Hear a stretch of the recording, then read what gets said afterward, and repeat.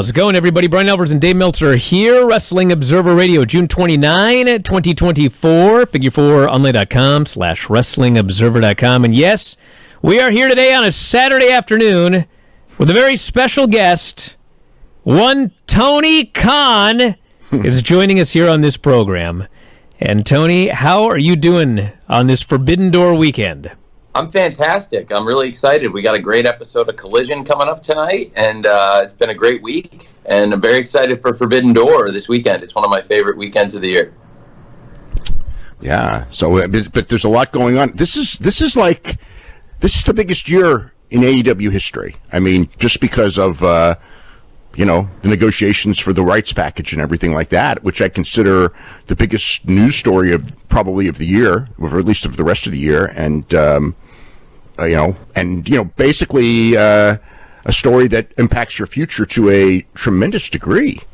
Yeah, absolutely. And it definitely impacts AEW's future in a major way. It's going to be a great, great year, and also we're having a great week. Uh, all the shows, Dynamite, Rampage, Collision, all the shows are up over the past week, which is exciting. And really, most importantly, we've got really, really exciting things happening. I'm having great talks with Warner Brothers Discovery. And as a group, uh, our business side, really, we've made, done a lot of work. I think we've uh, had a lot of great meetings, and we feel like we're in a really, really good place. A lot of exciting data and research we've done going into what's a really important time, like you said, the negotiation for the future media rights. And it's going to be something that's going to affect everybody in AEW and uh, a lot of our fans, obviously. The distribution of our shows is going to be a great situation, I promise. We're going to make a great deal for AEW. And uh, it's really exciting time, obviously, also with it being Forbidden Door weekend, which, like I said, it's uh, for many, many reasons a really exciting time for us. So Thursday, you said that uh, you were uh, heading towards the goal line. Um, how close are you? Are you are you uh, are, are you like uh, what what what yard line are you on right now? I'm in the red zone. I said so. We're in the red zone. So the I mean you know that's in the 20 and going in. Um, I don't want to say what part of the red zone we're in, but it, but look that is part of a long journey. This is a drive that started five years ago, so it's a, that's a long series in football. Um, yeah. And uh, you know, over the five years, we've established AEW. We've built up multiple properties. We've established a great library and a great series and calendar of big events. We have a great cadence of TV shows. We have so much great wrestling that we put on every week. And I think that really we've built uh, this great audience over the past five years with TBS and TNT. And I really love being here. I value the relationship, and we're having great talks with them. And uh, it's going to be an exciting summer. And Forbidden Door, it's really an important weekend for us. The pay per view business has been really, really strong for AEW this year, and historically, it's one of the real bedrock things about our business. And there are a lot of things to figure out in this deal. Obviously, Dynamite every Wednesday right now. Uh, it's our flagship show we've been doing for five years. We're actually coming up on the 250th episode of Dynamite just in a few weeks, which I'm really excited to talk about and build up more. And there's going to be a lot of exciting things when we get out of Forbidden Door. Uh, going to Chicago next week for a really big card and what should be a great show for Beach Break. And, uh, you know, obviously with Dynamite, Rampage, Collision, and all these major events we put on, uh, I think we've got a lot of things to offer media partners going forward. And everything we've done, I'm really grateful so far. It's it's uh, all been here at TBS and TNT, and like I said, I want to stay here and work with the people that I work with right now forever. Now, so, so outside so, of just real, real, quick, real quick on on, do you anticipate? Um, do you anticipate like again the the at, as of this point? The only company that you've been allowed to negotiate with contractually is WBD, and that won't be much longer. Looking at the watch, right? so my my question is is could it be um, a deal where I mean, potentially you talk to other people, even how the NBA and WWE and and other companies have done, where you have maybe most of your programming on this one, but maybe you add a program on another station, or or do you anticipate one making an exclusive deal with whoever you make the deal with, which right now today would have to be WBD, or, or if not, you know, so so kind of what what are your do you uh, what's your mindset on that right now? Well, as you said, right now we're exclusively negotiating with Warner Brothers Discovery, which has been great. Mr. Zaslav has been tremendous with us, and I really value that relationship and the history we have here. So right now, all of our property is on Warner Brothers Discovery, except for our pay-per-view business, which is relatively agnostic right now. We work with pretty much all the pay-per-view providers we can, distribute as many different ways as we can. There are a lot of different pay-per-view models out there. Just under the hood, across the street at TKO, they have really two totally different distribution models across yeah. UFC and WWE for the way that they do their pay-per-views or PLEs on their major events. And for AEW, for us, it's a, again, it's a different model that's worked really, really well for us and was one of the strong points of our business. But I think there are a lot of potential models for that going forward too. Uh, so that's something to talk about. So uh, it's yet to be determined w- what parts of AEW programming will be here, and and I love having everything here in terms of the TV and uh, having a lot of different options for streaming. But potentially, all these things are on the table uh, going forward. So it's a it's an exciting time for us, a really interesting time for us. But it's you know it's been building to this for a long time, and I think a lot of wrestling fans uh, who've been with us along the way uh, have been you know looking forward to this too. It's a big moment for the company, and uh, certainly Warner Brothers Discovery, TBS TNT has made it possible for us to be here approaching Dynamite 250, a five year anniversary, and what's going to be really, really major media rights deals that we need to figure out and uh, are making great progress on by the end of the year. Now, you mentioned wanting to stay with WBD, them being great partners, etc. But what do you feel in terms of the time slots, length of the show, etc.? You started with just the two-hour Dynamite, added Rampage on Fridays for an hour, later added Collision on Saturdays for two hours. And then, you know, you've had occasional times where there's been a Battle of the Belts or Rampage has followed Collision. There's been a three hour block on Saturday. And and, and, and, occasionally on Wednesday too. Yeah, a lot on Saturday. Yeah, yeah. and and yeah. sometimes that third hour, you know, sometimes the third hour, it's like wow, did better than it would have done on Friday. Sometimes for whatever reason, the third well, hour doesn't it, do as well. Well, usually it usually it usually does better than it would on Friday. Sure. But but, but my but question, but but sometimes it falls in the third hour. Well, we're on a really yes. to your point. We're on a really strong run of Fridays. The last two Fridays have been the best since March. Yes. and we've really gotten them reestablished because there's so much movement, especially for Rampage around March Madness, and then again around playoff season for NBA and NHL with all those commitments. So there's a lot of things to your point to be determined, and I agree with what you're saying, Bryan and Dave. That well, actually, you know, I mean, the question is like, what are you open to? I mean, have you have you considered the idea of maybe we should do a third hour block? Are you open to three hours? Do you look at Raw's three hours and go, well, you know, that's a lot of time for one particular block. What what are you open to? I think it's a great question. So I, I we've done both ways. We've in a few different ways, I guess you could say, and I'm open to these things. I think with Warner Brothers Discovery right now, it's slotted this way, and I think there's a lot of merit to it. Right now, the shows have been performing really strongly in the past weeks. Dynamite, uh, you know, obviously we had a really good week, you know, coming back this week off the holiday, and uh, really, I believe Rampage. Like I said, it's been the best rating since March, a few weeks in a row the strongest back to back. And then Collision was up 13% last week. And the previous week, we had beaten the UFC head to head straight up. And that's like a big thing for a startup show like Collision that's, you know, literally was celebrating one year. And I think that with these shows and these packages right now, Warner Brothers Discovery has been a big part of these uh, programming, scheduling, distribution conversations. Like we work hand in hand with them. And I think they like what we're doing right now a lot. So, you know, the way we're talking right now, there's a ton of opportunities. And like I said, it's a very complex conversation. There's a lot of things to be talked about. In addition to Max, obviously, a lot of people are talking about Venu Sports. And that's a really unique opportunity. I was just on the Fox Business Channel the other day, and I mentioned, you know, they're Fox partners with Warner Brothers Discovery in the Venu. And I think that's something very interesting. That is that is that, uh, is that, is that like the new streaming service they're looking at for next year, with yeah. with all the sports channels essentially. Yeah. yeah. yeah. I think that could be I, something we could be a part of, and it's a really interesting conversation. That's a whole new conversation, and that's a new world.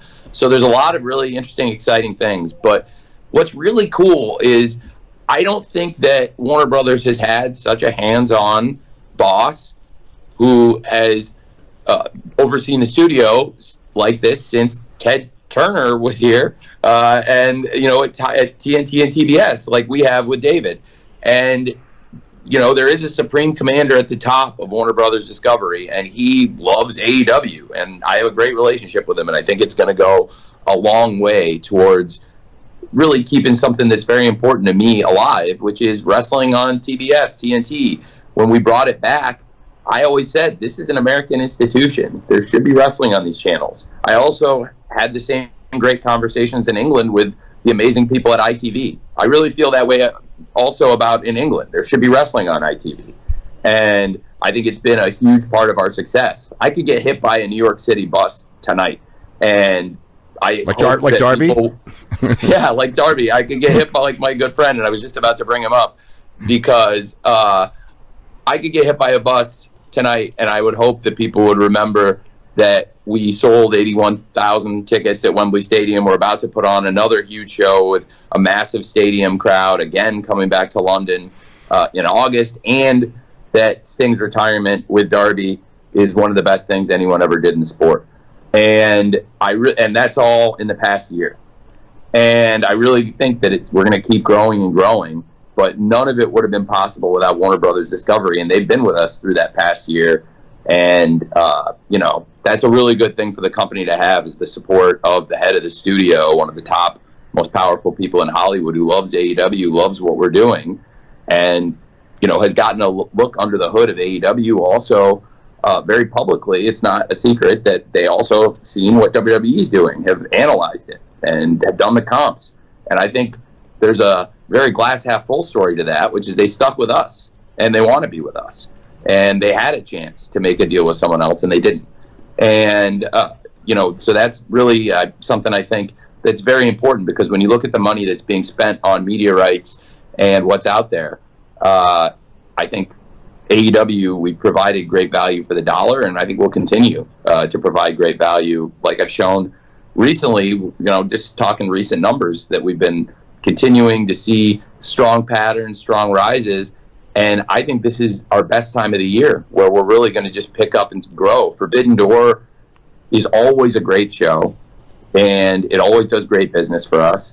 And tomorrow is going to be no exception. This is going to be a fantastic pay per view.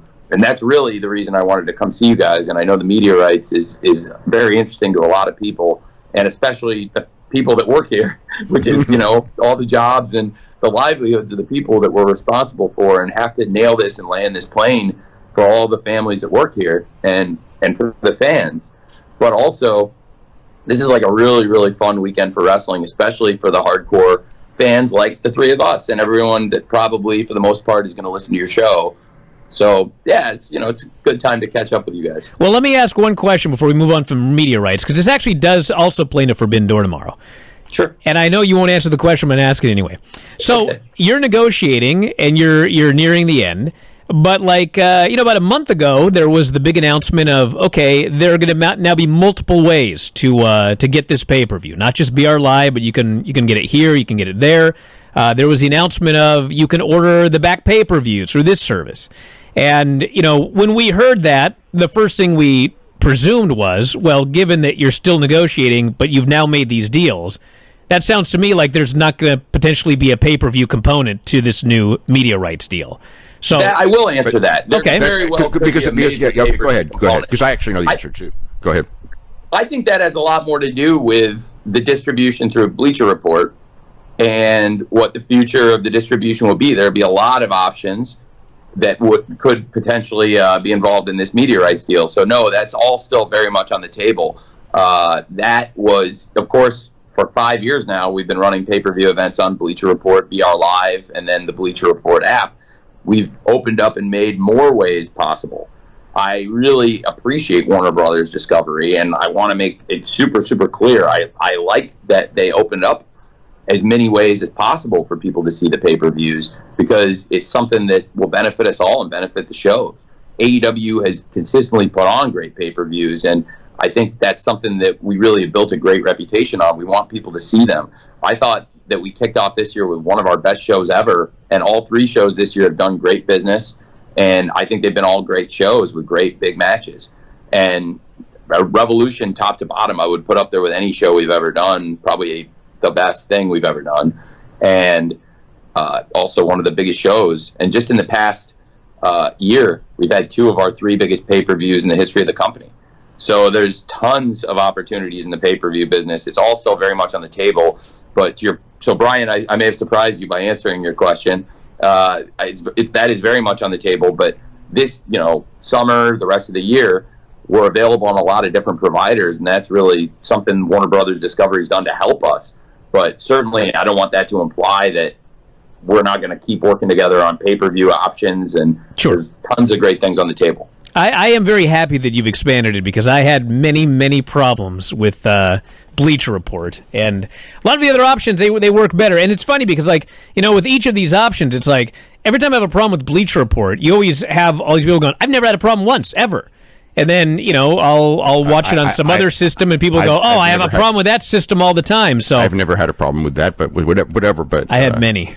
Yeah, many. I, I'm, I'm, I, I try to order it through uh, my local cable. So, and and I've never had a problem with that. So that's except for one time, but it's so minor, and they fixed it within seconds or so. Well, Tony, but, you actually you should tell us very quickly. I mean, what are the pay per view providers to get Forbidden Door tomorrow? Thank you, sir. I appreciate that, Bryan. Uh, well, there's a ton of ways. Like Dave mentioned, your cable and satellite are tried and true. There's ppv.com Bleacher Report, of course, uh, is great for a lot of people. PPV.com, Triller, YouTube pay per view. Uh, we've been doing shows uh, on all these different streaming and, and, cable and satellite platforms. Pretty much any uh, cable satellite provider is going to have us. There's a lot of great ways to watch the show, and uh, you know I'm very excited about it. And it's going to be a great show. We're, of course, we haven't talked much about it yet, but uh, really exciting to have top stars from all over the wrestling world descending on New York right now as we speak. Any any movie theaters? Uh, I think you know movie theaters. It's interesting. We've still done some of the distribution with movie theaters, but uh, you know, there's I've had uh, from a business standpoint. I think there's pros and cons to it, um, and uh, you know, there's a, other ways we've captured revenue. We've really replaced a lot of that as as to the as I've seen with Dave and Buster's and Dave and Buster's has been a great partner and a great way to watch the shows also. So every every every day there's something that comes up, whether it's an injury or transportation issues or whatever. And as you look at the Forbidden Door card, how close is this card to the card that you originally envisioned for tomorrow? This is the closest of the three Forbidden Doors. The first Forbidden Door, I did uh, talked to Dave around the original Forbidden Door, and I called to Dave what was the original plan for like all the TVs going from Double or Nothing to Forbidden right. Door, and it was so vastly different than what we ended up doing that Dave was like, "Wow, okay, you did have to change a lot." and uh, and I've had a few things like that. Uh, that that original Forbidden Door was probably one of the two hardest things I've ever had to do in terms of changes. The only thing I would put up there with that period around the summer of 22 around the original Forbidden Door, uh, where we were making lots of changes. The only thing that's probably ever been as hard is actually in the past year. One of the hardest things I've ever had to deal with was when you lose one person out of your top two programs. And the company was probably at one of our hottest periods ever. You know, Grand Slam coming off Wembley Stadium last year, less than a month after the biggest ticket sales in the history of the business and a $10 million gate and a huge pay per view for us. And just huge success. And then we go to Arthur Ashe and we did our biggest TV rating of the year for what is historically our biggest or one of our biggest TV franchises. And it was such a you know great show in many ways. MJF Samoa Joe, huge rating. You know, two of our great world champions wrestling, and to have Adam Cole get hurt in the middle of that, what everything happening with him and MJF that was really running red hot. That, in addition to Jon Moxley injury in the Rey Fenix match, and I really felt like MJF and Cole with Samoa Joe and what was happening with Mox and the international title and Orange Cassidy, I felt like those were uh, our top two programs at the time. And to lose Mox and Adam Cole both on the same night, that was a lot. And, uh, you know, going into Wrestle Dream and still having a great Wrestle Dream after that, that was hard. So the original Forbidden Door and then Wrestle Dream and, and Full Gear and everything after that those are probably the two hardest periods in terms of changes. This has been really great, and uh, you know it was very hard to lose Adam. I think is the is the big thing, and that uh, would be the main terrible change. And uh, Adam was on such a great run here and really wanted to be a part of the Forbidden Door. Um, How, how that, is that? To how- be fair, I've had that feels like it was a while ago because it was a month ago. But that's how crazy the business is. That like you know that that's a massive, terrible change. Uh, and we've lost some other people along the way too. Uh, but they were not all like in the couple weeks leading up to the show. But to be fair, the changes with Adam and Eddie were massive. So Yeah. this, I wouldn't say this is close to my original envisioning of the card, but post Double or Nothing, we haven't had as many problems with injuries and, and these kinds of things post Double or Nothing uh, compared to uh, some of the stuff years past that I would say was like just brutal. Uh, but losing Adam and Eddie, they would have been a huge part of the card, um, and uh, have had some other big injuries to people too. Uh, that definitely would affect it. But that being said, top to bottom, it's just such a strong card. I'm really excited about it. Most of the original plans are still in place. Obviously, the TNT ladder match, we had something different slotted there, and we're going to do something very different there um, if Adam hadn't gotten hurt. And with Eddie, uh, he would have been, like I said, a big part of this too. A few other things, but but thankfully, you know, knock wood, recent weeks have been uh, healthy and things have been good, and I I'm really excited for the card. Adam Cole. I mean, do you have any kind of uh, update on him? Because it's been, I, I feel like it's been so frustrating for him, It's- uh, but but also for fans of him, in the sense that um, you know he, he I, I thought him and MJF, you know, obviously the start of that program was was you know one of the hottest things that you had all year. And, you know, the Wembley, obviously, they were in the main event of Wembley, your biggest show ever. And then he goes down with an injury. Um, before you climax the program, and that, you know, probably caused you know, the last three months of the year to go differently than it would have. Yeah. Um, um, I I, know that. to do the Continental Classic. I believed in that, and it was something I wanted to do. So I'd planned for like a tournament like the Continental Classic for the end of the year. But I mean, that really came through for us in the end of the year. But uh, a lot of our, our other stuff changed, definitely. But know, MJF and Samoa Joe did step up, I think, and they were having a great match at, at Arthur Ashe, and they had a great match at Arthur Ashe, and did a great rating and great business for us there. Uh, and like I said, it was the biggest TV rating we had all year. And uh, you know, like it was unfortunate to lose Adam Cole there in such a pivotal time for MJF, Samoa Joe, and Adam Cole while everything was happening. And uh, things unfolded very differently than I would have liked originally. Uh, but that was tough. And like I said, then you compound that losing Mox on the same night, our biggest star ever, and our most certainly our most reliable wrestler, and he still is our most reliable wrestler ever. And you know that was how bad the luck was. Even you know our most reliable, greatest star uh, got hurt that night, and that really changed things because I thought the world title and the international title were running side as just hot, so hot both. And Mox is the international champion, and uh, MJF with Adam Cole and Samoa Joe running for the world title. It was a great scene, and uh, so Adam Cole recovering from that injury. We obviously saw him make an appearance uh, recently on pay per view. Uh, I can't wait until Adam Cole can come back. I, I can't give you the exact timetable, but he will be back, and you know I'm looking forward to it. It'll be great to have Adam Cole back in the ring. He is recovering, and I can't wait to have him back. He's done great for us, but obviously there have been multiple injuries that have sidetracked him, which is unfortunate because I think he's one of the best young wrestlers in the world. And like you said, he was in the main event of our biggest show with everybody behind him, and nobody can ever take it away from him. And I was really proud because before that he had been injured, and he was running red hot. When he arrived in AEW, he was such a huge part of transitioning from 21 to 22, moving Dynamite from TBS, excuse me, from TNT to TBS. Uh, Adam Cole was really big in that, and I really, really was so happy that he got running hotter than ever. And you know, just the worst timing for him to get hurt. But you know, like I said, losing Cole and Mox, the international champion at the time, on the same night, uh, and and what happened that night, it was it was a big change for us. And I think uh, it's great now. You know, Cole will be back. And then look at what happened to Mox, and it's a perfect time to transition to Forbidden Door because, uh, you know, it's a great story. It's one of the most important things about this event to me is going into this. Uh, I've been so looking forward to it because you have Mox that we can celebrate. The first wrestler ever to be the AEW World Champion, the WWE World Champion, and the IWGP World Champion. It's a major historical accomplishment, and he's wrestling one of the greatest wrestlers in the history of New Japan, and the person he defeated for the title in Naito.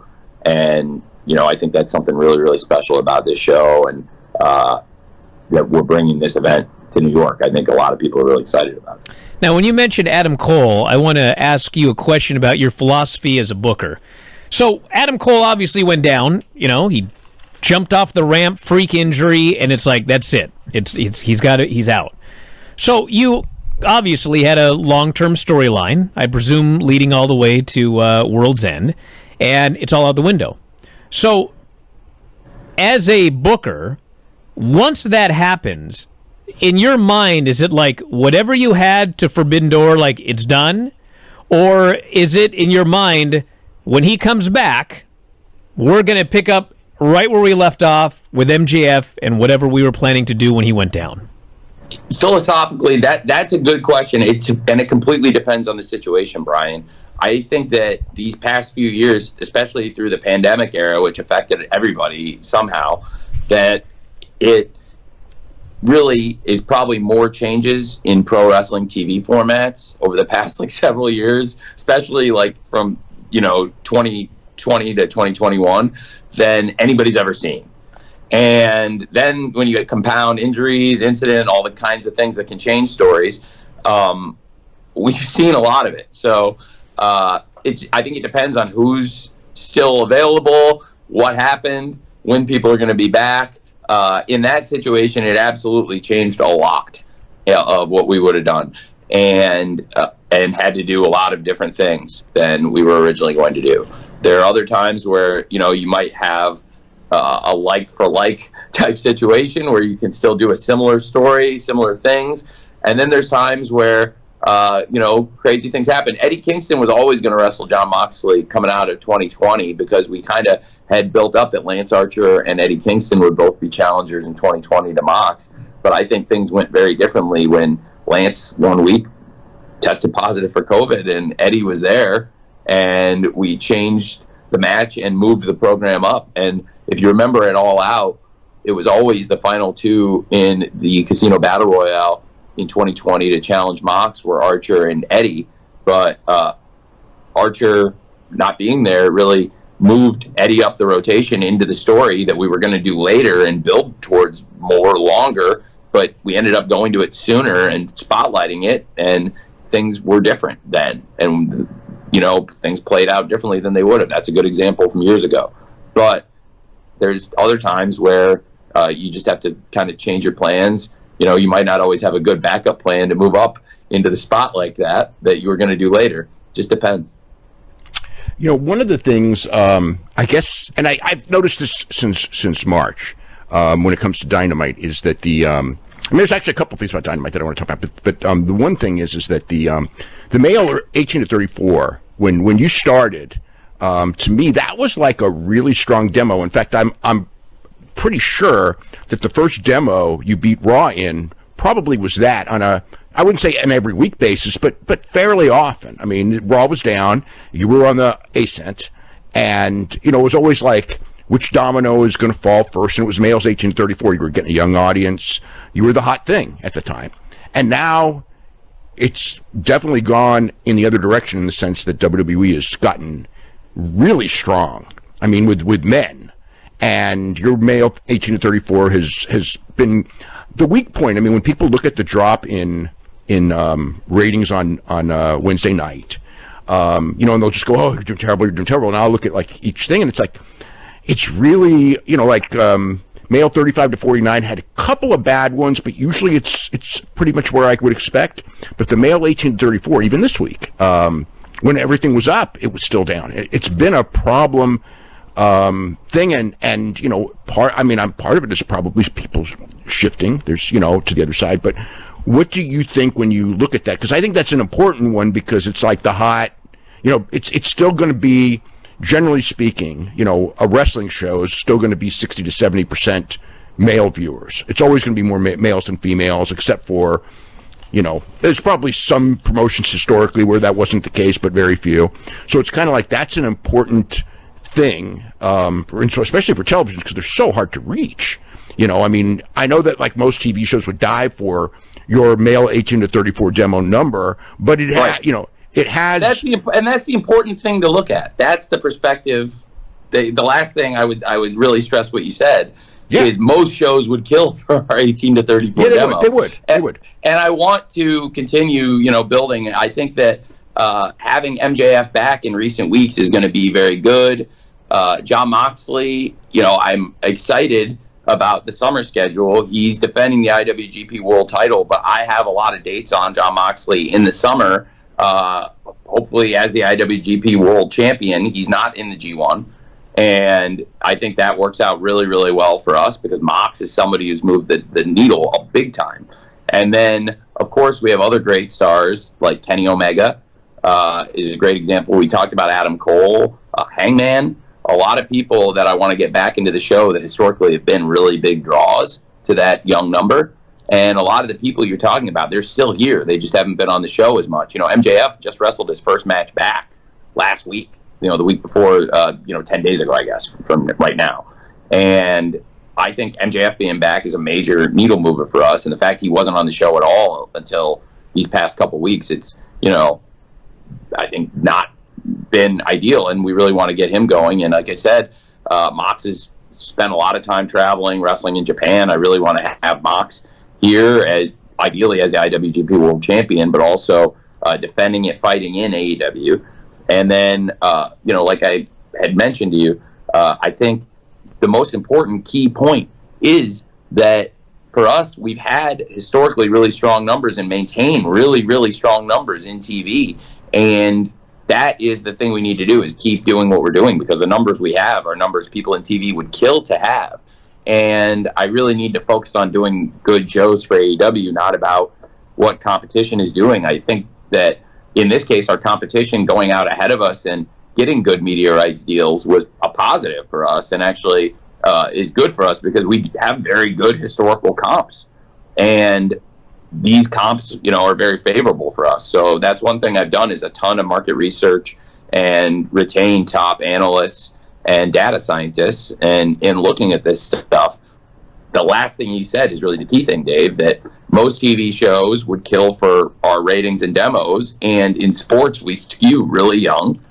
And uh, you know, instead of focusing on, hey, you know, when Kenny Omega and MJF and Adam Cole were on the show every week, in addition to uh, all these other wrestlers, and Mox was here every week, and everything was running perfect, then yes, like we've had these demos that are, you know, even better than what you know what we've had, but yet right now we maintain some of the best demos in sports. So I really do think it's important to focus on that because I think it's going to be a really, really good summer for us. And we had really good growth through last summer too. And you know, getting back to the best of what AEW does is really important to me. And historically, I think we've done a lot of that in the summer. You know, look at 2021, which is considered our best year.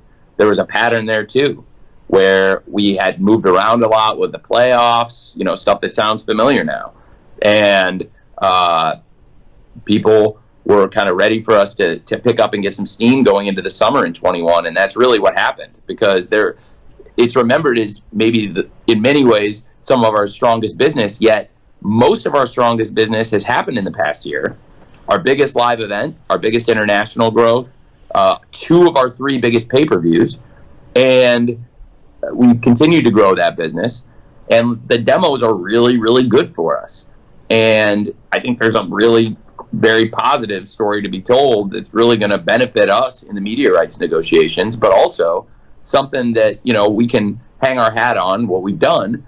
And if you look, 2021 is a great example where the year got much hotter when we resumed live touring and the show picked up. And I think we have a lot of really exciting things. It's not going to be uh, as dramatic a change in the show as you know when we res- went from Daily's Place to resuming live touring, but I do think historically, the summer, just like last year, also is a good example.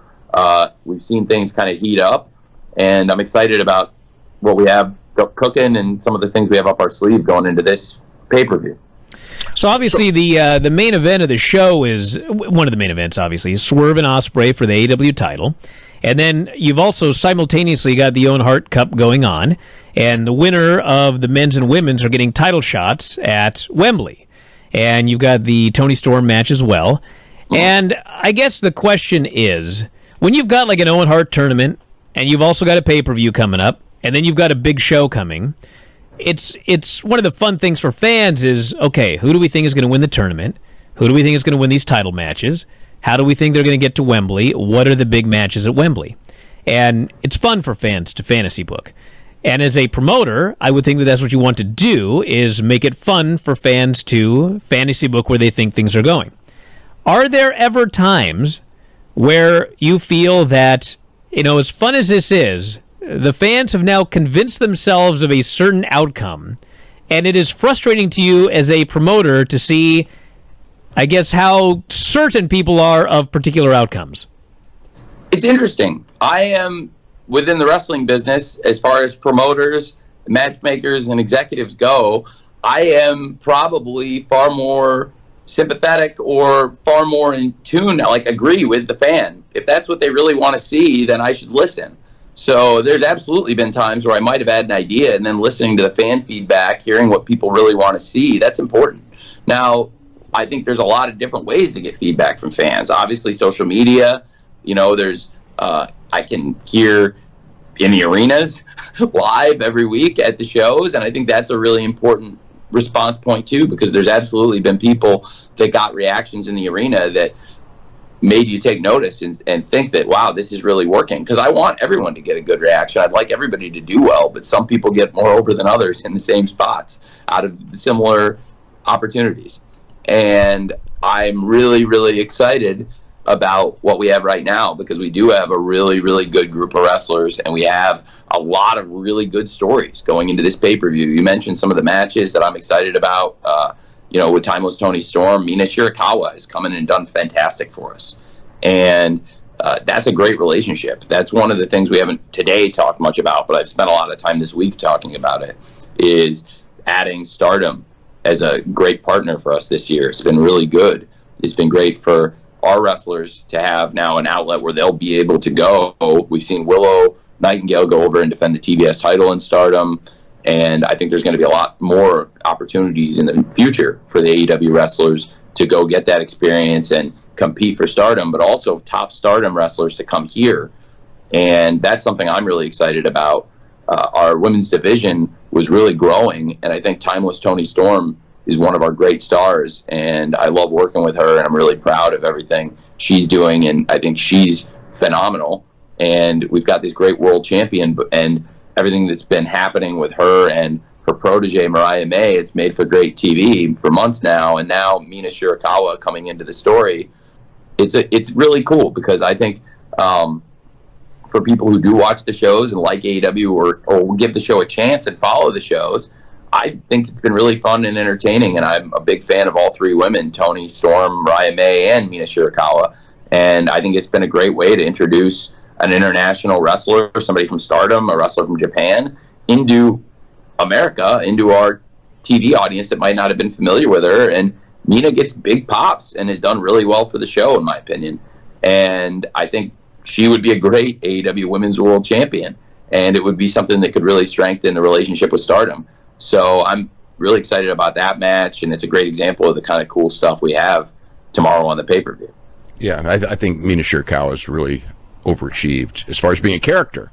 You know, I mean, um, so now that but not by des- but by design, Dave. Like it wasn't oh, like I know, you know, no, she's star in the back, and I was like, she has no, you know, I was like, she has a lot of personality. She's oh yeah, really she does, something. she does, she does, and it, so it is by design. We didn't, you know, luck into it. Mina and uh, Mariah had this great history, and I followed yeah. and Stardom. The they were at Club Venus and they had to really overact in that they had a close friendship. And in planning this show and putting a story together, I was so excited to have Mina involved in AEW, especially with all the cool things happening with Mariah May and Timeless Toni Storm, which is one of my favorite things about AEW. And I really think that's really great. And I totally agree with you that Mina has come in and overachieved and been a really great part of the show and also has, like a glove, fit with what's been happening with Toni and Mariah and Luther. So now, when it comes to television, because um, because you know obviously uh, pay per view. I mean, a pay per view go home show is different than a show maybe three weeks before the pay per view and everything like that. Um, you have to get certain angles over at a certain time, and you have to hit the angles harder. You know, the last week, of course. Um, from a philosophy standpoint, when it comes to match time versus um, video time versus interview time and all that. Have you changed, or like, is, have you changed your philosophy, or are the changes basically, well, this is the right thing for this this certain week? Like, like I saw what you were saying. I think this week was more because it was a go home show. Okay, you know, yeah, that's what, that's what I was asking done. If it wasn't a go home show, maybe you, you put four or five more minutes in some of the matches that were great right, this right. week. And I completely agree with what you're saying, but you also need to have the strong wrestling and things that move the stories. Great example. Yeah. I mean, I would have gladly watched Zack Sabre and Kyle O'Reilly wrestle for another 37, 45, 82 minutes, whatever.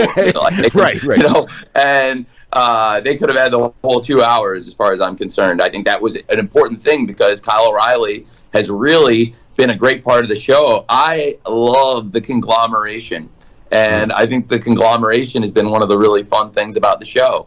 And ever since Double or Nothing, Orange Cassidy uh, you know, we've seen him featured now more with Kyle O'Reilly. They had the tremendous match on Collision, and really then came in and, and, had been partners. And Mark Briscoe had been their partner. They did a trios match, an eight man match. We've seen the conglomeration for several weeks together now.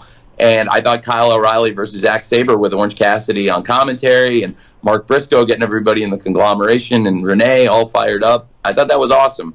And I also had a lot of pay per view angles to cover, but you need to have good wrestling on the show too. So, you know, there's another week, maybe where you're further out from the pay per view, where that could have easily gone twice as long. Or Fenix versus Jay White's another great example. That was a great match. Um, and I would love to see more of that. And they've had great matches, singles, tags, trios with the Bullet Club Gold, uh, the Bang Bang Gang, and uh, the Lucha Brothers and the Death Triangle, and I, I look forward to more of that. And that's probably a good segue.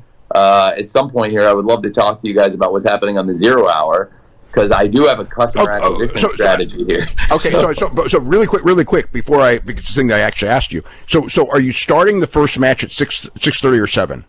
Or I well I, that, that's that's I'm not saying the first match is going to start at six thirty. The zero hour is going into overtime, so we're going to do ninety minutes.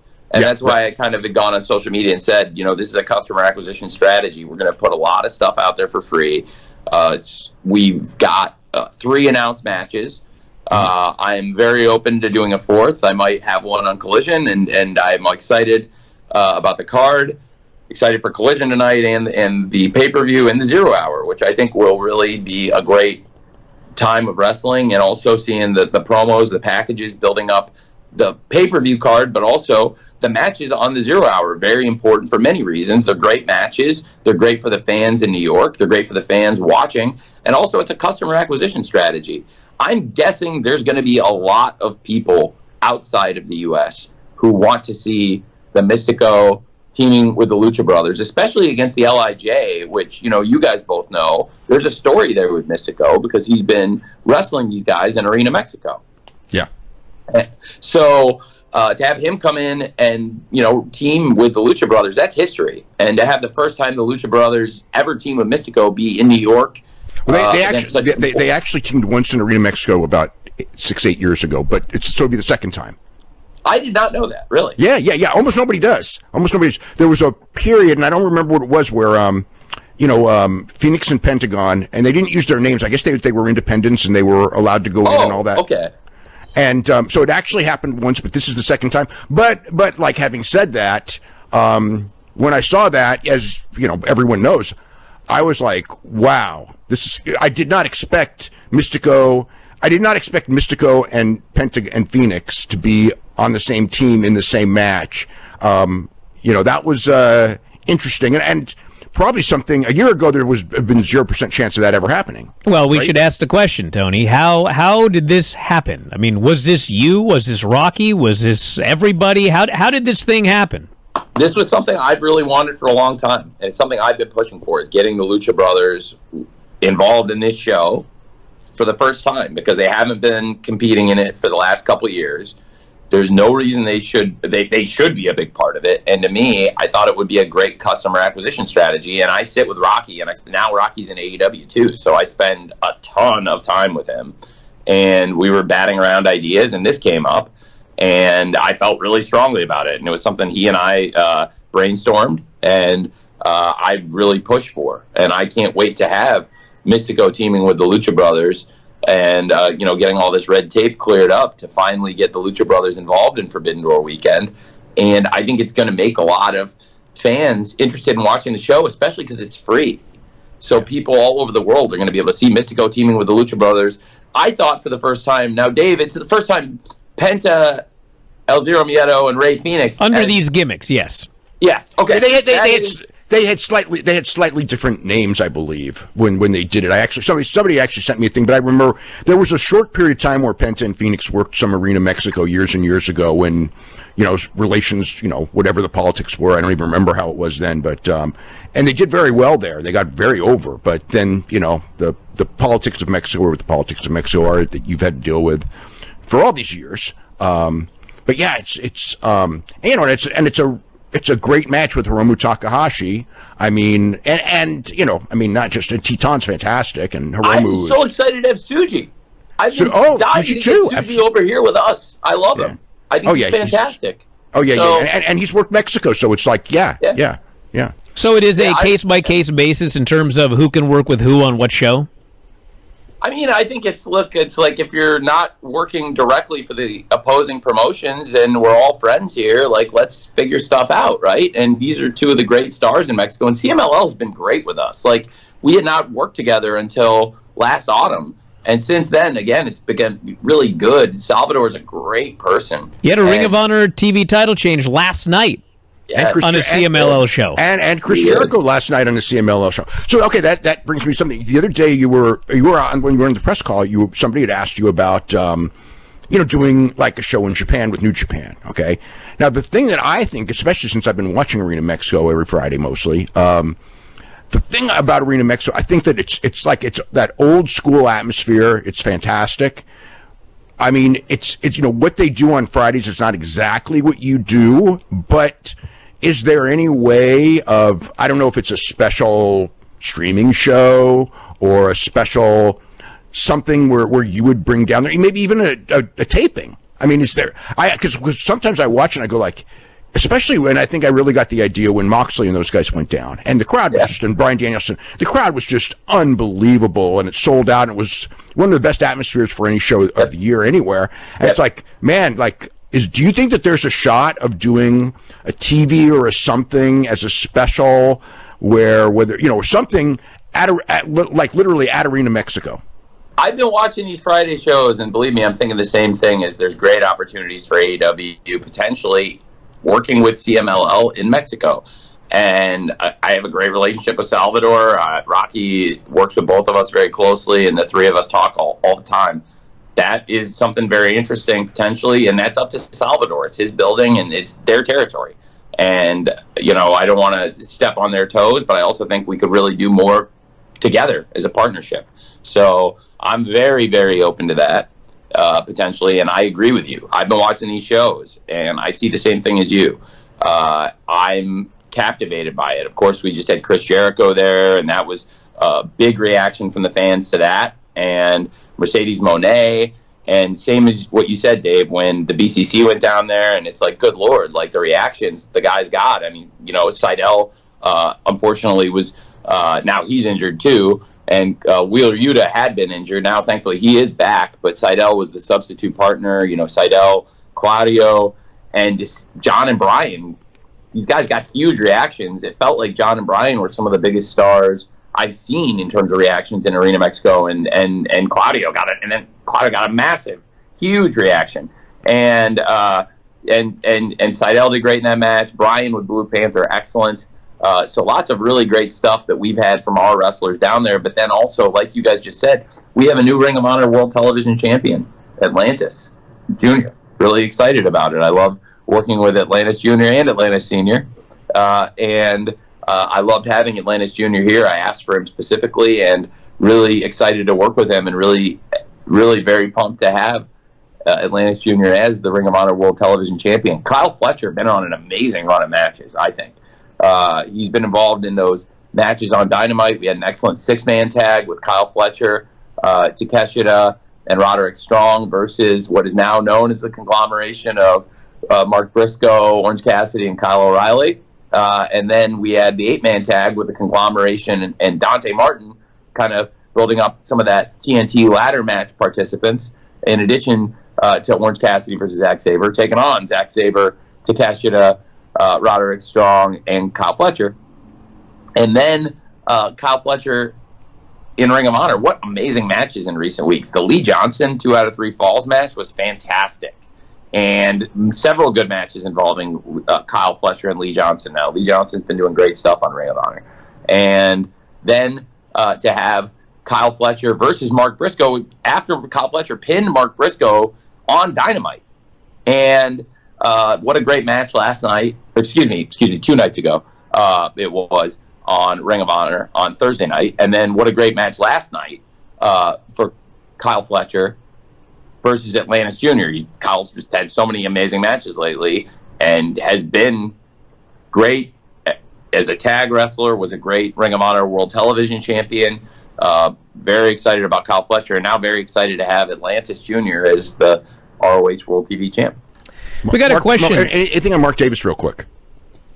Yeah, Mark Davis uh, out still uh, injured, and hopefully will be back soon. Uh, that's another great talent that has been out, unfortunately, with an injury that sidelined him for a while. We got a question here from uh, somebody in the UK. He says, "Any plans to move the TV schedule in the UK so the Go Home Collision shows for the pay per views are actually before the pay per view? Right now, he has to watch them after the pay per view." That's true. That's It's a great question. It's a great It is. question. Yeah. I think there's some. It's it's challenging, right? Uh, I would love to work with ITV possibly on a solution for that. Obviously, there is the AEW uh, TV, uh, AEW Plus. So there are ways to stream the shows beforehand because I believe you can get it on AEW Plus before the pay per view. But yes, you do. You uh, do. but to, on ITV, you would have to wait. To your point, and I, that's a great partnership, and I'm just really thrilled to be on ITV. But I think it's a great point that if we could get the Go Home Collision on before the pay per view, it would be really good because there's some really good stuff, just like this weekend. To your point, uh, eh, to the very intelligent person who wrote that in, Bryan. I don't know the name if they're anonymous. Brick. Or, okay, okay. Well, uh, Rick. Brick. Oh, Brick. There's a oh, very Brick, intelligent Brick person. family. Is named Brick. Yes. Oh, good. All right. Uh, Brick. I don't know about- Uh, the- the well, parents Brick, may have made a uh, mistake you- then. you- It's a great point, Terrible. and I, I would like to figure it out, Brick. And uh, I'm with you on it. And certainly, I'm just very grateful to have the shows and all the wide coverage we get on ITV. But yes, I would like to make them available sooner. You know, you mentioned uh, Mark Davis, and you know, we asked, you know, how's he doing injury, and you told us everything like that. But uh, it does seem that sometimes people completely vanish, and it's like, where did this person go? What happened? So, there's actually and, and like, it takes a long time to finally figure it out. Oh, they're hurt. Like nobody ever told us, or it's like a it's like a top secret. And obviously, you know, I think both in AEW and WWE, there's this desire to not talk about concussions if someone's out for that reason. Yeah. But sometimes it's like uh, just an injury, and it's it's like they just disappear. Is there a is there a reason that sometimes you you don't want to say you know so and so's been gone because of this injury?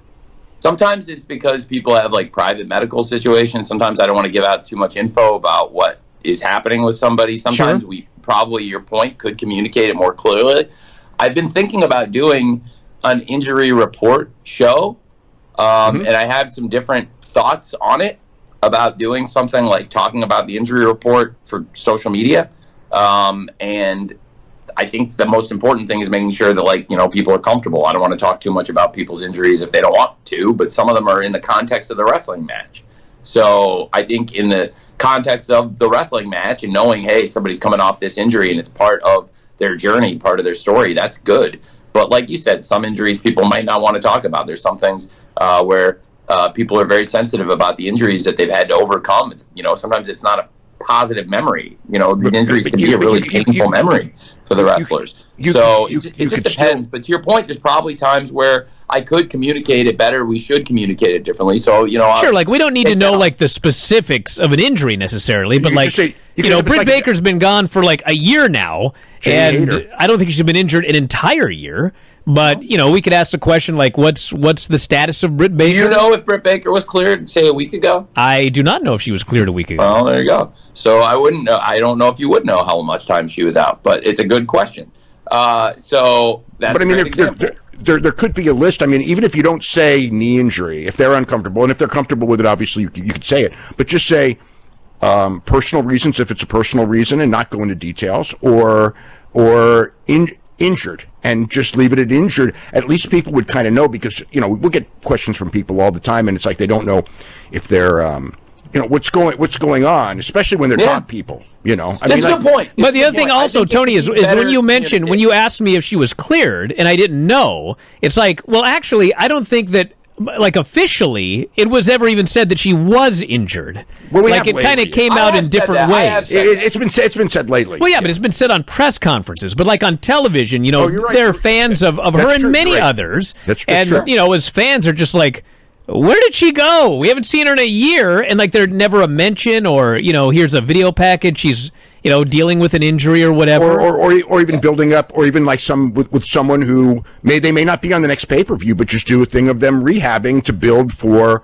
you know, like I'm on my way back. Just even if it's just a quick, Sure. you know, if it's a top person. I mean, Sure. obviously, Yeah, we obviously and can't we do have done that in some cases. In other cases, uh, you know, where we haven't talked about specific injuries, I haven't done that as much. Yeah. But these are, like I said, there's been a lot of the top stars where we have Kenny Omega is a good example, where we have given some updates and tried to work it in. Yeah. I Kenny Omega is one of the biggest stars ever in AEW, so that's a really important thing to do.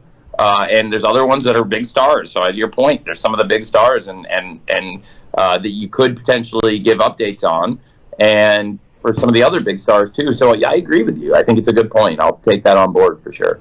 Yeah. Now, one thing that that has been, I think, like, and you know, it's funny because every I, I feel like um, there's there's certain thing that's been going on, kind of like for the last couple of months. It's it's it's um combination of a perception thing and and the rights thing, and it's kind of like I see it, I see it on on the internet in the sense of people, you know, a group of people who are, you know, waiting for you to fail and waiting for you to succeed, and everyone is getting impatient. I always say, like, look, when the deal's done, it's done, and I, I don't worry about the day it's done, as long as it's done by, you know, December 30th, I suppose. But, um, but the whole thing is, is like, there's people on both sides who really want to clap back on the other, and this deal has become like a real interesting thing. And even you, in dealing with some of the media stories, like you know the one that we talked about once, um, about how you know you were unhappy or not unhappy or whatever. But you know how this stuff is all getting out. You know, I mean, it's like I think we all know how this stuff's getting Yeah, out. oh, yeah, we all Uh, do. I We mean, all do. please, please, please, why don't you enlighten them? Well, people people say stuff and uh, you know go through different channels and everything like that. You know, I mean, Well, who, who, who's feeding them this information? Well, uh, well, well, well. Pray tell. Who do we? Who? I mean, I don't want to say, but I think that we all can come to an I think assumption. you said it. I appreciate it when you said it. You might as well say it again. I don't Well, yeah, no, no, no. Of course, of course, of course. Yeah, yeah, no, of course. Some of some of it's com- some of it comes from through WWE, of course. Um, cer- certain certain negative things, of course, that's part of the game. Um, that and it's been the game for forty years. I mean, like let's face it. Um, but I mean, like the whole thing is, there's you're fighting a perception battle, though. Um, I- we talk yeah, about it all in some ways we are because it's perception is in some ways reality, but Yeah. uh, you know the the deal, the media rights deal is major perception. That's major league perception. History will be written on it. yeah, Do I look worried? no, I'm not. It's going really well, and I'm a warrior. I, I worry about stuff. I stress and I think about stuff all the time. I'm you know I try to keep uh, try to keep it light and try to you know stay positive and fun about stuff. But I also really, really, in this case, feel really good about it, and we're in really good shape. There's a lot to be done, and it's a lot of work, but you know, a lot of that work's been done. Like that's why I use the analogy of being in the red zone. Like this is the most important time to execute. But you also can look and say like we did a lot to get here. When you're in the red zone, you, you maybe you got here. You know, sometimes people the offense can come out on the field because the defense made a great play or there was a uh, turnover on special teams. Not every time you end up in the red zone did the offense necessarily drive the ball up the field. But in this case, that's what we did. I feel like we started this thing backed up against the goal line, and over the last five years, we have come out. Uh, we've gone past the logo and uh, past the 50 yard line and uh, in plotted into the red zone, and I'm really uh, feeling good about it. But that doesn't mean the hard work's done. That means this is the most important work. This is the highest leverage work. The things we do now, this is the clutch. But Yep. everything we did to get to this point is really important too. And you know, if we uh, hadn't if we hadn't done a lot of really great things in the past five years, we wouldn't be in this position that we're in. So, you know, I'm I'm really excited about it. But to your point, I mean, it is uh, it's challenging because you're fighting against a competitor that has outlasted and beaten down all the other competition. And uh, we're really fortunate because there are a couple of major international wrestling companies that have sustained their business. And when you look at the rich history of New Japan Pro Wrestling and CMLL, I'm really glad to be working with these companies. It's a dream come true. 20 years ago, I was in college and I was a wrestling fan. And like a lot of wrestling fans in their 20s, I was watching the wrestling on television and following it on the internet. And, uh, you know, it, I wasn't doing as much of it in my phone now as I would be today, but I was online, I was on my laptop, I was watching wrestling on TV 20 years ago. And it would be a dream come true to be working with New Japan and CMLL 10, 20 years ago for me. And these companies, they have a rich history. They've sustained, unlike a lot of the other promotions. You know, when I was a kid, it was a transitional period for the wrestling business. I was reading magazines in the supermarket, and there were some territories. Smoky Mountain was a new territory, and then ECW popped up in Philadelphia after that. But Smoky Mountain out of Knoxville, that was something new. But there, for those new companies, there were 10 to 20 that had gone out of business. Everybody Uh, did. And, Oh, and all, and all over the all over the world, not just not just U.S. I mean, UK and um, or, or got less and less significant, and then went out of business. Austria, Germany, all over the world. I mean, it really was. When you really look at it as far as like at a, on a at a high level, it was really just Japan and Mexico. You know that that that maintained like uh, strong promotions because WWE gets on television and it makes everybody look weak. You know, that's Yeah, it well, it's something that we have going now. Is there's a lot of great wrestling here in AEW and in New Japan, Stardom, and CMLL, and it feels like, you know, like something like an uh, an old NWA Super Show to see a bunch of the different promotions descend and put on something special. Because here we are in New York at UBS Arena, and to have CMLL and the top stars from Japan, from New Japan and Stardom, and the top stars from TBS and TNT all coming together to put on a show with over $1 million gate and over 10,000 fans in New York. It's not lost on me being in New York what we've done because a lot of my competitors never did anything like that. yeah. Well, When, when I did mean, Eric Bischoff ever come in New York and do a $1 million gate? They never did a one million He dollar. never, they never did a one million dollar gate, but he, he had- Anywhere, ever. anywhere, let alone in New York City. Yeah. ever, ever. That's true. That's true. Well, the, well, you know, the, the one thing also, it's, it's funny that you bring that up because um, when I I was actually in, in, in my story on uh, that I wrote about Sika this week. Um, you know, I started looking back at the the Mid South Superdome shows. And this Forbidden Door, it's not exactly the same, but it's very, very similar in the sense that you know, they have their core. Mid South had their, and it's it's funny because again, when people go like, "Oh, I only want to see," why are they bringing in other people? And it's like I'm thinking like, have you ever followed? It's like I sometimes get frustrated because I followed wrestling for so long and seen so much. But it's like, have you ever like watched like when you were a kid? I mean, well, they weren't because they weren't born. The Omni shows when they would bring everyone from all over, they're bringing the Funks and everyone, were not on TV every week, you know, or the Briscoes or or Dusty or whatever, or or Ernie Ladd or or you know Andre, you know, whatever. People from other territories augment on the big show, not just your your guys. And Mid South did the same thing. They would bring in people from Georgia. They'd bring in people from World Class. They would bring in people Yeah. from WWE. You know, I mean, it was like that's what that's what that's what separates your normal weekly TV from your big show. And this is your big show. And it's like we're you know, it's cool that we're getting not only the stars, but we're getting I don't know, we could see Mistico. I mean, look, you know, see Tam Nakano, whoever. I wouldn't have thought that that was ever going to happen here. Whether and if it works, it works, you know. But um, Yeah. yeah, I um, Well, I think New York City is a good place to try Mistico with Penta and Fenix. Frankly, Yeah. I think that's going to work really well here, and also to put that other team against them. You know, to have Titan, somebody I've really liked for years and wanted to work with since the beginning of AEW, and now finally can. And he had been in Ring of Honor, and he had a great match on TV with Cody. When Cody was the Ring of Honor champion, and I thought that was fantastic. And he was somebody I always really wanted to be able to use.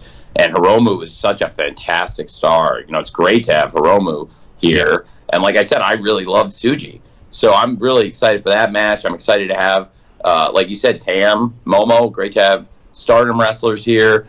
Having all these great international wrestlers and our wrestlers come together in New York to put a show like this on, it's awesome. It's historic. It's cool. And especially following up on the success this show's had in Chicago and Toronto.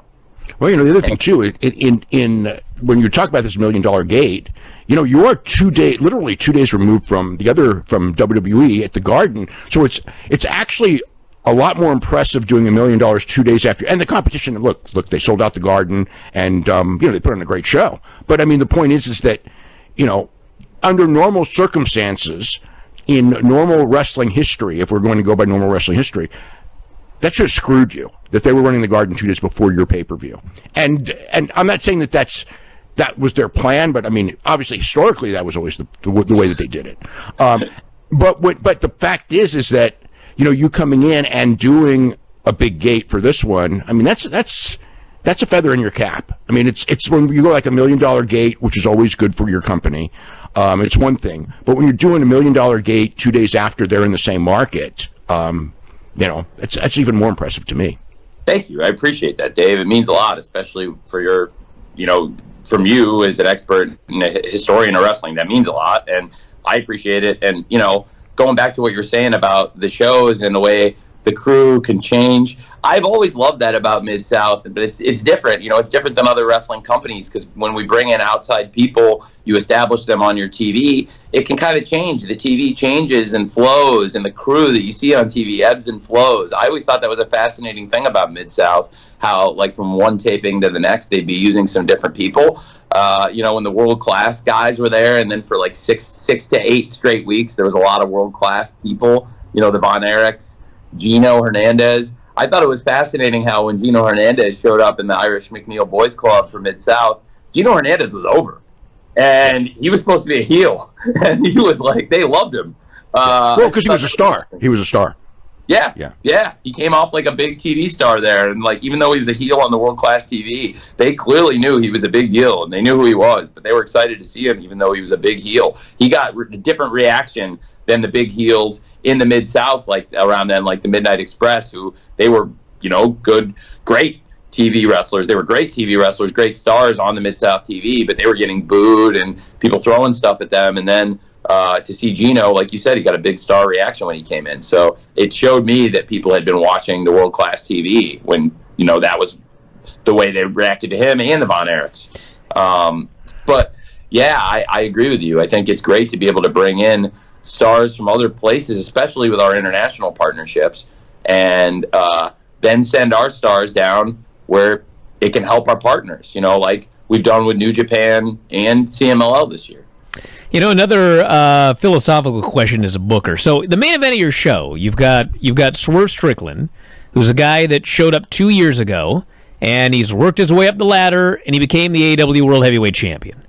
And then you've got Will Ospreay, who walked right in as a gigantic star, one of the biggest stars in the entire company, and so now they're facing off against each other for the title.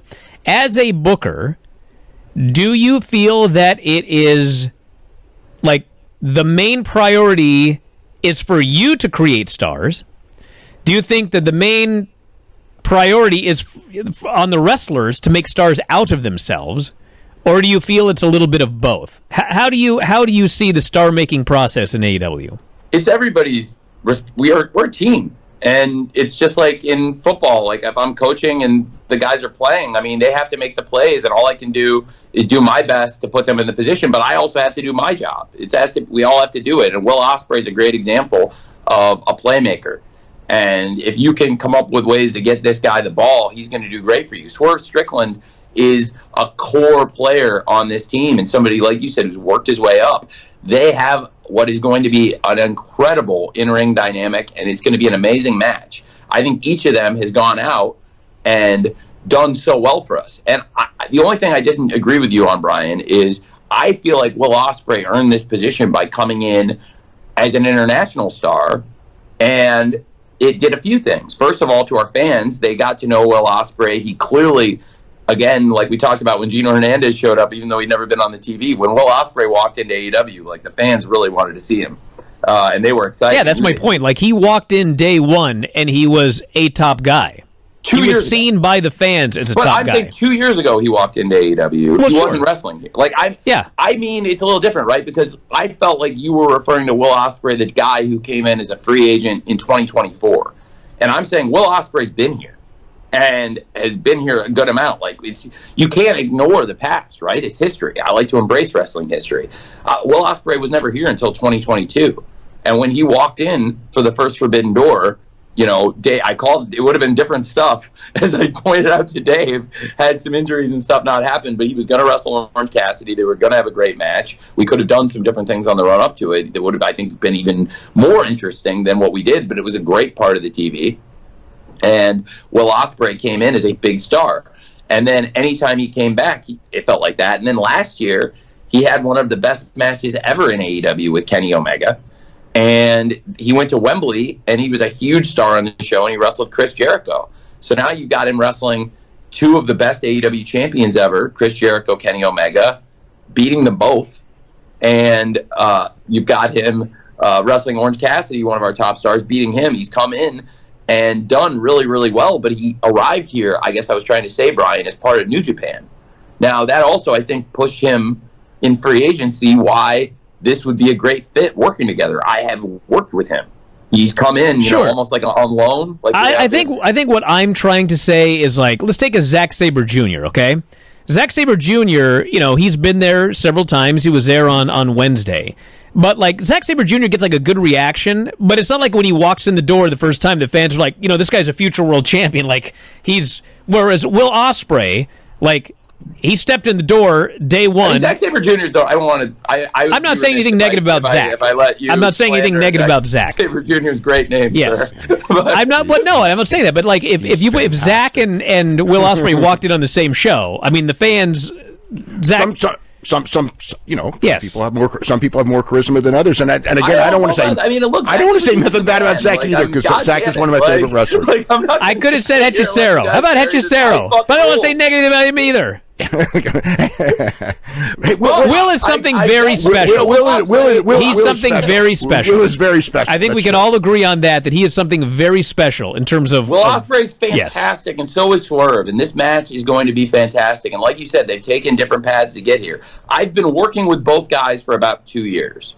The first year, uh, Will Ospreay was coming in with New Japan. Swerve was coming in as a free agent. He's been here the whole time. Swerve has definitely had a completely different path, working his way up in AEW. I agree with your point, and it makes for a fascinating dynamic and a fascinating match. Yet, Will Ospreay has been in the AEW galaxy. He's been part of it, and he's worked here. But he was working with New Japan. He every time he came in, it felt like we were seeing a huge star. And I think then when he went to free agency, that made a lot of sense to me. That I know this guy's going to come in and be a big star for us because I've already had him here, and he was a big star, and he's getting better and better. And for him, I think I hope you know, based on what he said and how it's all gone, you know, he had trust in me, and we like working together.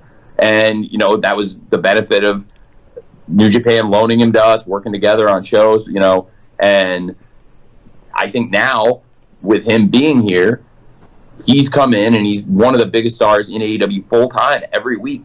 And Swerve Strickland is somebody that has been to me over the past year has gotten better and better and bigger and more important and better on the show. And when you look at when he started his program with Hangman Page, it felt like Swerve was a rising star with a really bright future.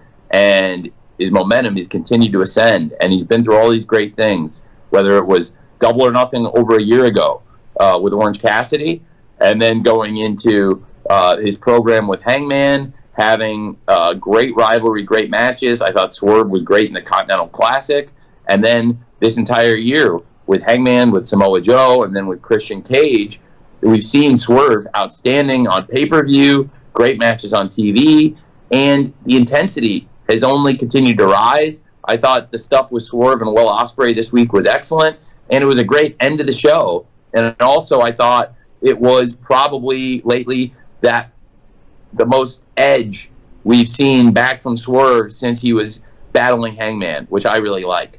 And so I'm very excited for the match. And I agree with you; they've taken different paths. I I, uh, I think it's going to be a really fascinating dynamic. You can tell the guys have a lot of chemistry when they're on screen together, and they're so so great. Both of them, the matches they've had, like I said, with the individual people separately, have been some of the best stuff in AEW over the past year.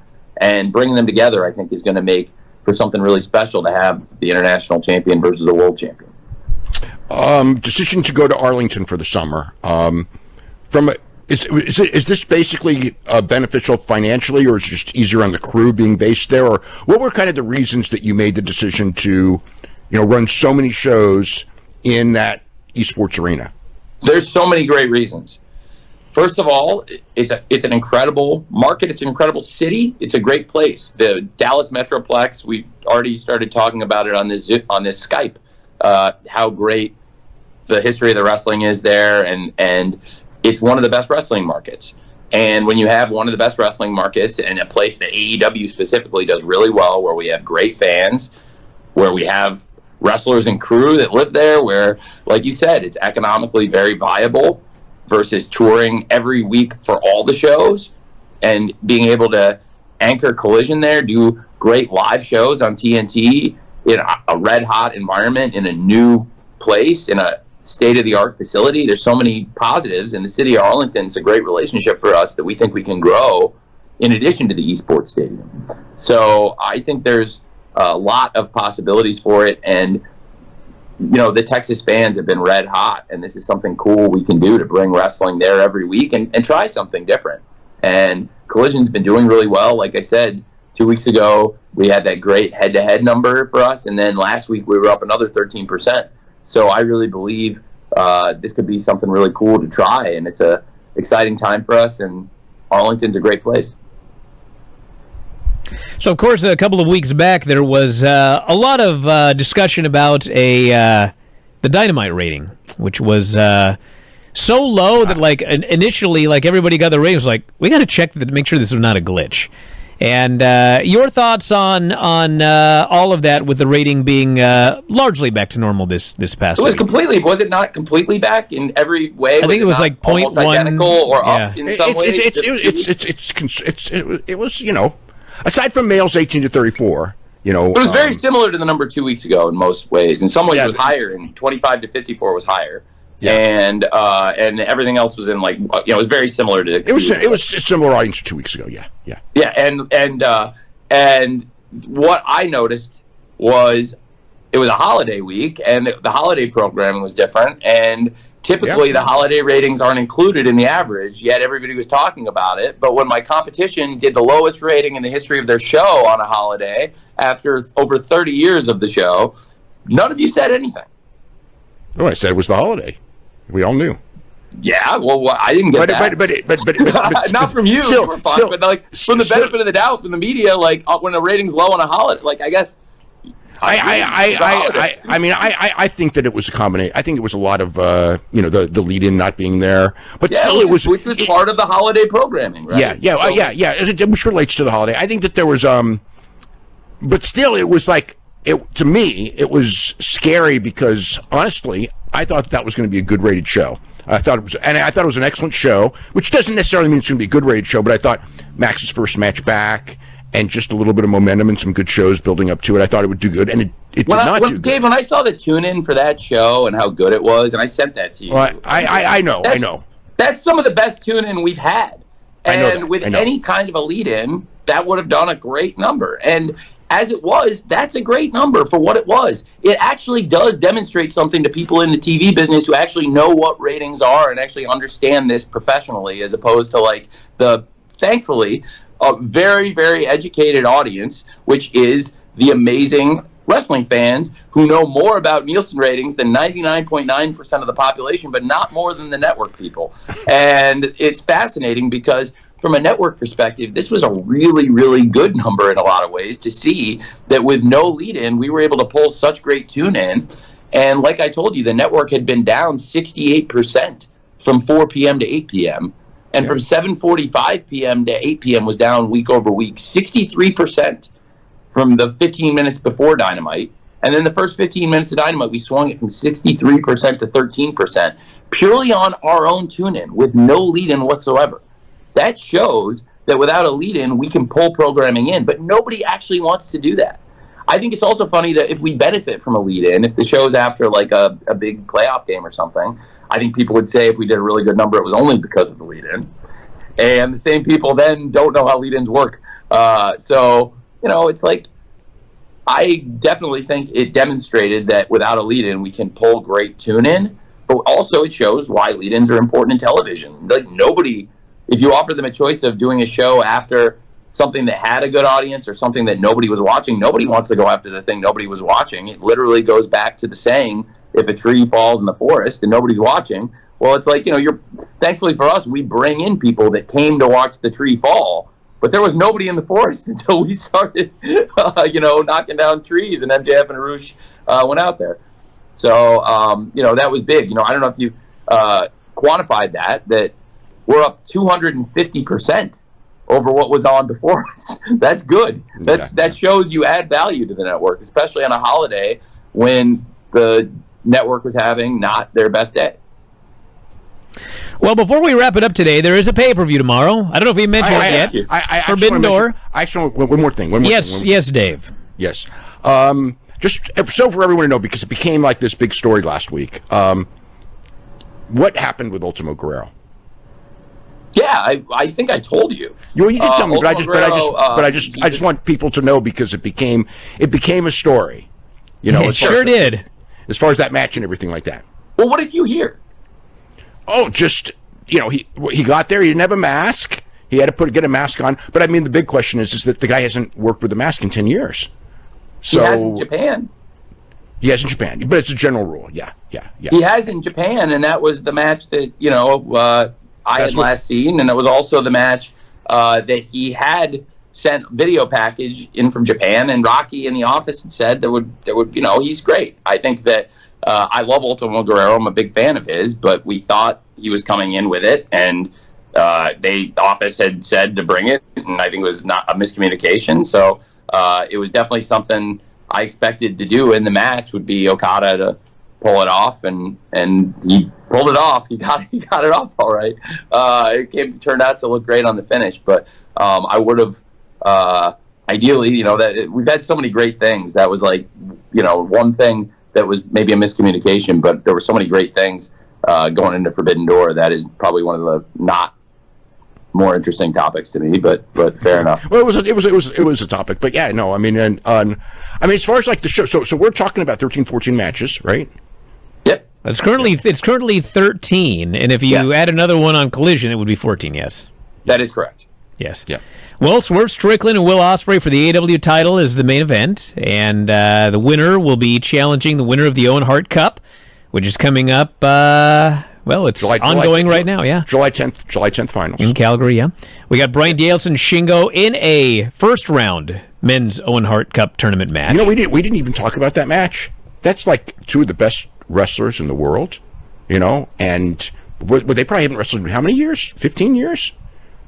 They, they wrestled in Ring of Honor once because I remember the match was phenomenal, but it's been forever since we've seen them. And, and I mean, um, I mean, that's a great reason to buy this pay per view. Everybody, there's a lot. There, hey, look, look, it's it's as as far as a wrestling show goes. I mean, I ran the thing over. We would go match by match with Garrett, and it was like as we went through the thing, it's just like this is really. I mean, it's it's. I I kind of see this as a can't miss show because even if let's say one guy has a bad night, one match doesn't deliver that you expect, you got 11, 12 more that on paper look anywhere from good to fantastic. And that's like another, yeah. and, and, and, I think that like, you know, the Will match and uh, the Danielson match, I mean, they're, they're pretty much can't misses. I mean, it's like, unless somebody breaks their leg, I mean, those matches are going to be incredible. And, well, and, and, yeah. and, and, really up and down the show. It's, I mean, uh, Mox and I, I thought Mox and Naito in Chicago was fantastic. I'm really excited match. for the rematch with Mox and Naito like you said, Bryan and Shingo, we hadn't even gotten into that. I'm really so excited for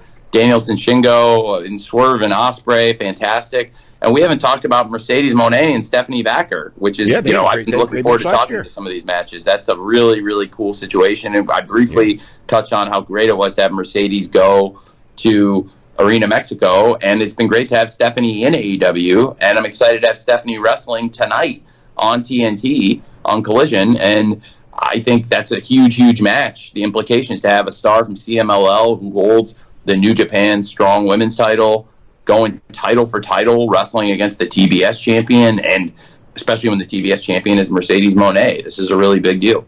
Got Moxley and Naito for the IWGP title, which you talked about a little bit there, but uh, big rematch. And you know that that uh, that Naito said that if uh, if Jon Moxley beats him, he's going to let Jon Moxley do the uh, the G one. Well, that would be interesting. Now, if if uh, if that happens, uh, that's he will may slot him in there, and that may be something we'd have to work out for the summer. I love having Jon here, but if he could get a spot in the G1, I'd be very open to it. I also think Takeshita being in the G1 is a great thing for us this year. Um, but as it stands right now, they haven't scheduled it that way. But if Jon wins and he gives him his spot, that could be something to be seen. Uh, the first match in Chicago was fantastic. Jon absolutely knocked it out of the park, I thought, and it was a real history making moment.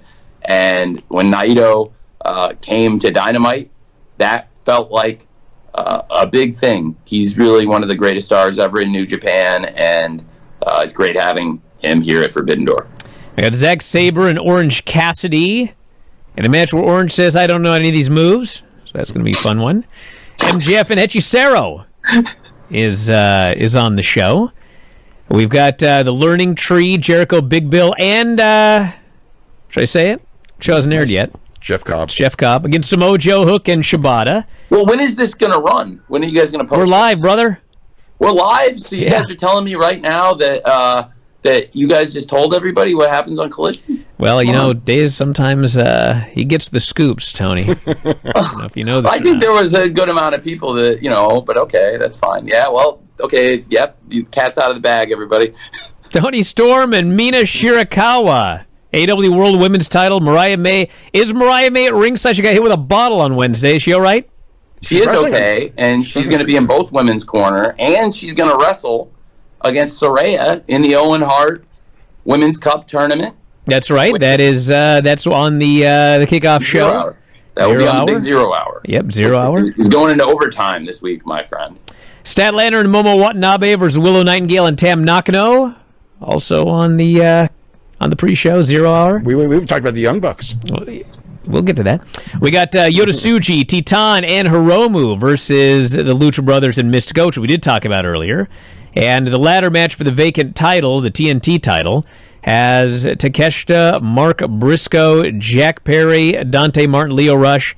And are we going to still leave that uh, question mark in there? Well, uh, no, that was ELP. That was last on night. All right. That's okay. That was last it's El night. El Phantasmo it is then. Yes. ELP. Yes, Yeah, I he's fantastic. rampage I'm excited for Saturday. that. I'm really excited for that ladder match, and it'll That's be great hell, that's a to that's a, have. that's a that's a crazy match. Yeah. Yeah. And yes, your elite match: the Young Bucks and Okada against Anthony Bowens, Max Caster, and Hiroshi Tanahashi, the president of New Japan Pro Wrestling.